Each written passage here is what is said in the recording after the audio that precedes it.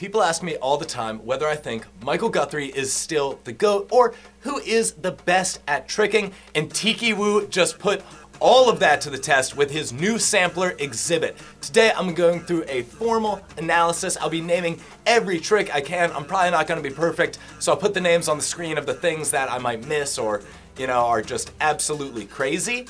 But as you go through this, I want you to think in your head, because Tiki Wu just put a great argument for himself as the GOAT, because this is a lot. This sampler contains a lot. We're gonna go through it all. This sampler starts off with one of my favorite things in the world, an aesthetic dub dub. Of course, exhibits the name, because Tiki Wu is an exhibit. My god. Most aesthetic dub dub I've seen in a long time. And it was Scoot, Pop, Dub, Swing, Double Cork. Let's go. That's such a good way to start. And then standing, double full, double cork, double cork, double cork. Dub times four. Now this combo right here, like I said, it gets really technical really fast. He starts with bangers and then it gets straight into the technicality. Let me go through this with you guys. He starts out with a palm kick, and then he does a front swing scrubba, which is like a Sailor Moon touchdown rise. You just put both your hands down, but you go across your back as you do it. And then he's going to go from a pop and do a Valdez hyper, so that way he can wrap into a full, and then he's gonna swing into a triple cork. My God, that combo is so long, so complicated, and so crazy, but so good. So good. Double Snapu. Double Snapu is one of those legendary tricks. That's a Cali roll with a kick. That's not easy, guys. That's not easy at all. I cannot even name that many people who I've seen do that trick. Mike Guthrie is one of them. Shosei is one of them. I think I saw Zen do it at some point. And Tiki Wu. That's all I got. If I'm wrong, leave me a comment down below. I love being wrong about this stuff. I really love being wrong about this stuff. Cheat 9, hook, rise. Cheat 9 gyro recovery area. Oh. Or Cheat 9 snapu. Do you guys call this Cheat 9 gyro or Cheat 9 snapu? Because I've heard it called both things. Haruki! Damn it! Haruki did it! Pivot, double cork, gainer switch, triple cork. Scoot, pop, double full, gainer switch, triple cork. on the grass! On the grass! He just did the same thing in both clips, but the only difference was he used a scoot on the grass. That's crazy. Gainer switch. Oh man, triple cork, swing, gainer switch, touchdown. Cheat, nine, touchdown rise, gainer switch, triple cork. That combo is so complicated. Let's watch that one more time. Gainer switch, triple cork, touchdown gainer switch, cheat nine, gainer switch, double cork. Or that was a triple cork. Ah, I don't even know anymore. It's so much spinning and twisting. Guys, I'm trying to keep up with this, but Tiki Wu is fast. Yo, did he just combo backside 14 like it was nothing? This is Aerial Mega, Rourke Screw, or a Sideswipe Semi, whichever one you want to call it, to an Envergado Pop 14. That was the most casual Pop 1440 or backside 1440 I've ever seen in my life. And after that, he does B twist, cheat 12, hook, touchdown rise, triple cork.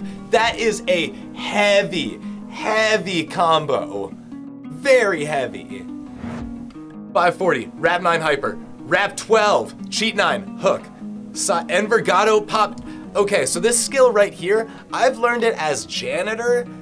If I'm not mistaken, it's basically a pop butterfly kick. So he does cheat 9, hook, Envergado, and then it's a pop butterfly kick, which just looks absolutely insane and gives you this air shape that makes the whole audience just like, it catches people so off guard. I really like the janitor. It's a very underused trick because it's hard to throw in because it really cancels all of your momentum. But look at the height he gets on this. That's crazy.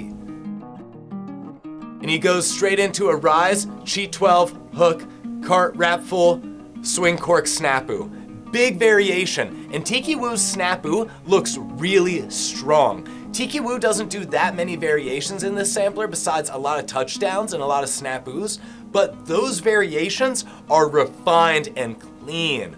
Very strong. I know, dude. It sounds like we're inventing all of this stuff and it's like black magic. it really sounds crazy for everybody who's like really outside the sport. They're like, what the hell are you guys talking about? Yo, look at how much Tiki travels on this corkscrew. This really shows you that not everything has to be perfect. Big recovery cork right there. To gainer switches, ending in a triple cork. Yeah, sometimes you can use gainer switches or corks as a way to like recover your momentum and figure out where your body is as you're moving it. Pop full, double full, triple. Yo, that was a standing one, two, three. Standing one, two, three.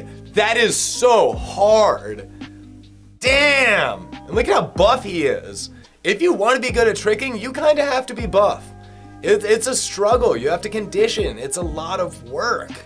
It's just a shit ton of work. And it's a lot of the same stuff. But hey, you can also condition by tricking. It just hurts your body more. Gumby, trip. It was a trip trip attempt. He just did not have enough flip. He needed way more flip if he wanted to land that. But he's super close. He's dummy close to trip trip. And from cork. I don't triple full triple or triple cork triple cork. I have not seen that many people do that in the world. Touchdown twist. And then the pop flash. Oh, to a Sailor Moon twist. I love the touchdown variations. It seems like Tiki Wu, and I said this earlier, has a really good set of touchdown variations and is very comfortable putting his hands down as he does certain tricks to give him power, stability, and to help him recover, or just to add in some style and flow. I don't know why he's doing all of these, but they look sick. They look sick. Triple B twist. Big triple B twist, too. You'll notice when Tiki does this triple B twist, he's not doing a giant run up into it. He's kind of just stepping lightly and relaxed, and then he's just jumping super duper hard. Nice relaxed step, big push, and nice tight twist. Standing full semi, front swing rise. That was a triple cork. That was a triple cork. He spins fast. He spins fast. Jackknife. I I like this jackknife. Tiki Wu doesn't do that many like uh, kick kick kicks.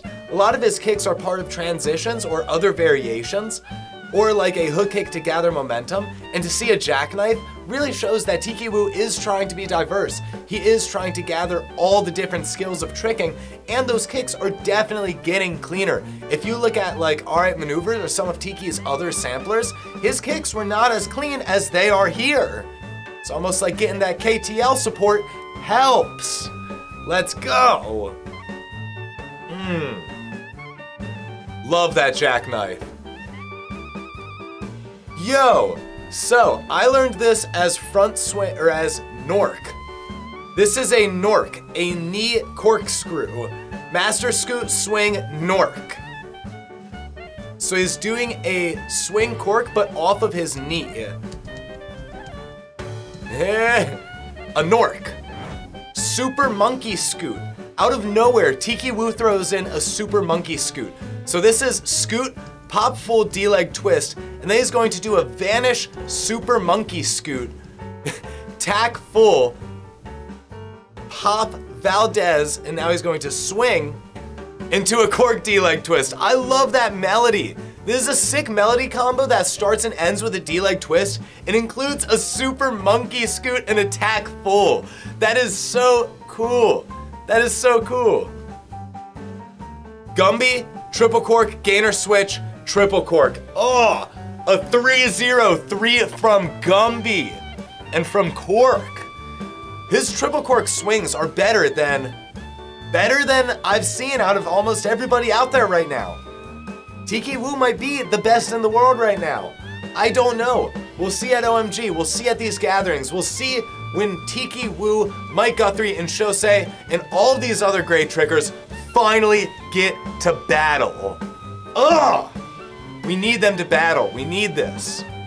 We need this desperately.